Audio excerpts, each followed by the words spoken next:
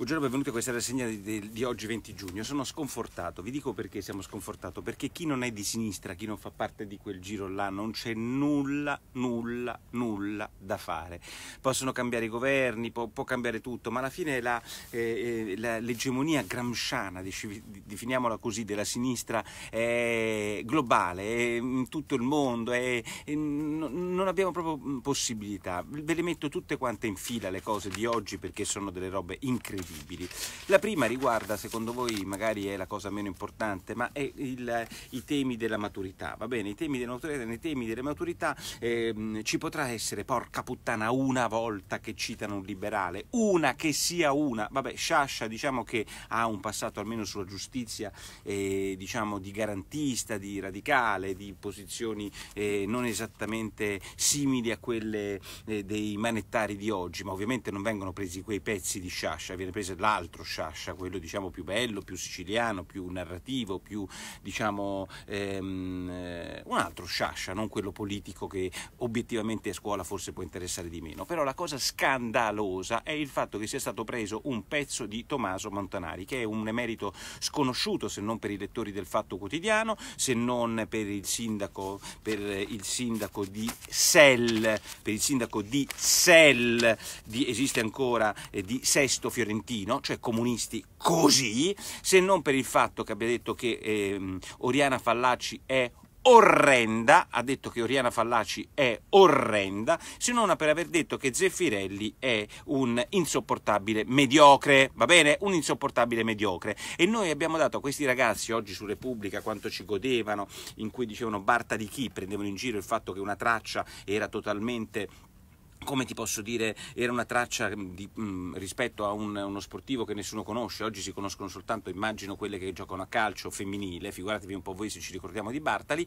Allora, ehm, questo, queste tracce dei temi facevano schifo, facevano schifo, e uno dice, ma perché devi votare il centrodestra? Ma perché devi votare i leghisti? Perché devi avere questo ministro per avere Tommaso Montanari come traccia? Per quale cazzo di motivo devi avere un ministro di destra, della Lega, un ministro che non è il solito comunista catto comunista per avere Tommaso Montanari che rappresenta il vostro punto di riferimento culturale. Se il punto di riferimento culturale di questo governo è Tommaso Montanari, beh, almeno è meglio Renzi, è meglio Berlinguer, è meglio Prodi, è meglio gli altri, tanto quelli sono gli originali. No, noi abbiamo questi che hanno il complesso della sinistra e per cui si devono prendere come traccia, la traccia di oggi, una specie di storico dell'arte sconosciuto di cui parla benissimo oggi Vittorio Sgarbi e che si permette di dire dire che Oriana Fallaci è orrenda e noi ai nostri studenti che faremo diventare tutti culturalmente di sinistra, in parte lo sono, e mi spiace per quei pochi che sono liberali, alcuni mi scrivono, ci dobbiamo beccare questi qua, capito? E noi abbiamo un sindaco, abbiamo un ministro leghista, leghista! Complimenti, complimenti, bravo, bravo ministro, ti conosco pure, ti ho anche incontrato. Complimenti. In un paese normale preferisco, sapete chi preferisco? Preferisco Salvini che fa un tweet ieri e che magari una piccola aggiustatina ai suoi ministri potrebbe anche darla, eh? eh che ieri dice che è orrenda, non la Fallaci, ma una signora, che ve la, una signora, e la trovate questa signora sul mio sito internet perché vi faccio vedere come ha aggredito una nostra giornalista. E questo è venuto un paio di mesi fa. Questa signora ha commesso, è una ladra maledetta. E Salvini l'ha definita ladra maledetta, probabilmente eh, il suo ministro, il suo ministro, cioè quello della pubblica istruzione, non avrebbe preso il tweet di Salvini ma quello di Tommaso Mantanari o quello del pezzo di oggi del Corriere della Sera sera che dice che è un caso il tweet del ministro. Allora io vi chiedo, è un caso il tweet del ministro Salvini o è un caso il fatto che ci sia una ladra che ha 33 anni e ha, è stata arrestata 40 volte, ha 25 anni di pene da scontare e continua a rubare e ieri questa maledetta, maledetta, ha cercato di rubare a un, a un signore di 80 anni in sedia a rotelle turista. Secondo voi cosa doveva scrivere il ministro degli interni? Ah, non doveva scrivere scrivere niente, probabilmente non doveva scrivere niente. Doveva far discutere questa cosa a quell'orrenda della Fallaci o a ehm, o quel mito di Montanari che il ministro leghista, compagno di Salvini, oggi ha usato come eh, traccia per i nostri mh, studenti. Ma va, dai. L'altro, e, e la cultura di sinistra è quella vincente, è quella della Serpentine, la straordinaria, favolosa galleria nel centro di Londra, nel centro nel parco di Londra, di Hyde Park, in cui la sua direttrice viene considerata la più grande, eh, a te, come possiamo dire, la più grande attivista del pacifismo, dei buoni sentimenti inglesi, ehm, si chiama Jana Pill, sposata mm, una mecenate, mercante d'arte e tutte queste balle qua, beh insomma c'è un piccolo problema che la mecenate d'arte, direttrice generale della Serpentine, partecipa a una società israeliana, la quale società israeliana, geni questi israeliani, eh, qualche volta, che cosa hanno fatto? Hanno venduto un software per intercettare Whatsapp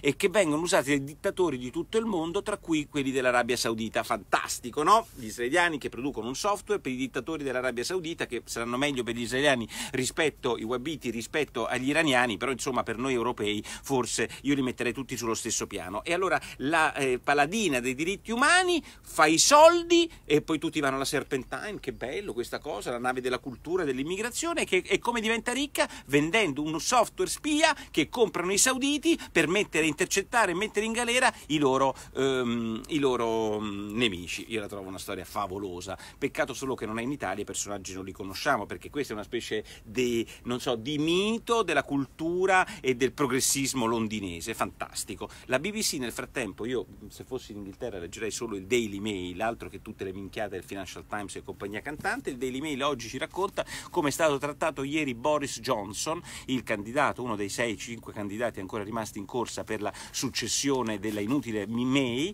Beh, ovviamente conservatore, come è stato trattato dalla BBC. Le domande erano fatte da persone, da un imam o da persone che erano state cacciate da Facebook per le loro volgarità, per le loro cattiverie, per il loro estremismo e vengono utilizzate da BBC e la stessa giornalista è anti-conservatrice. Ehm, Direi insomma che eh, tutti quanti siamo figli della stessa ehm, diciamo, cultura e pregiudizio favorevole alla sinistra, chi più, me, chi più, chi meno. Beh, insomma in Francia è un po' diverso perché il processo a Sarkozy così è straordinario, quello che rideva di Berlusconi e che qualcuno di voi ieri mi ha detto ha fatto il complotto eh, contro Berlusconi, beh insomma è a processo perché avrebbe corrotto un magistrato che si chiamava l'annullatore, è bellissimo, oggi mi sembra Montefiori sul Corriere della Sera, perché lui con questo magistrato aveva rapporti per sapere come stavano andando le indagini sul suo conto riguardo a 2000 processi che Sarkozy ha, il finanziamento illecito che ha avuto da Gheddafi, 50 milioni si dice, il, il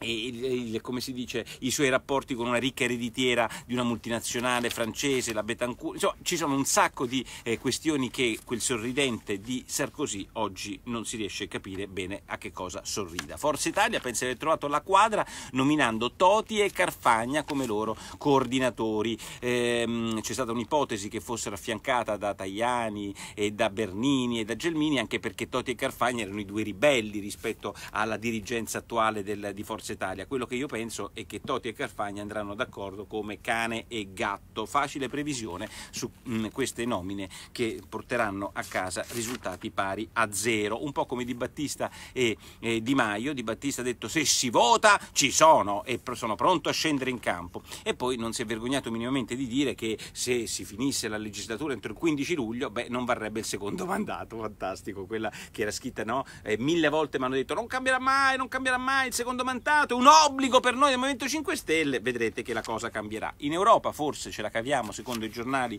con riduzioni di 2 miliardi della spesa pubblica, che peraltro dovrebbero essere già nelle pieghe di bilancio perché quota 100 e reddito di cittadinanza non hanno funzionato così bene. Infine, l'ultima questione riguarda il CSM e i magistrati. Greco dice quel mondo che vive nei corridoi dei, ehm, degli alberghi e nelle retrovie della burocrazia romano non ci appartiene. Greco il procuratore, il capo della procura, della, eh, quindi del della, dell'accusa di Milano, ma vorrei ricordare a Greco, grande magistrato, che proprio a Milano fu insabbiato, ucciso dal punto di vista professionale e eh, allontanato quel giudice Robledo, quel PM Robledo che stava indagando su tante cose dal suo predecessore, quello di Greco, cioè Bruti Liberati, quindi qualche piccolo pasticcetto, come ci ha raccontato Robledo a noi a Quarta Repubblica, anche a Milano è arrivato.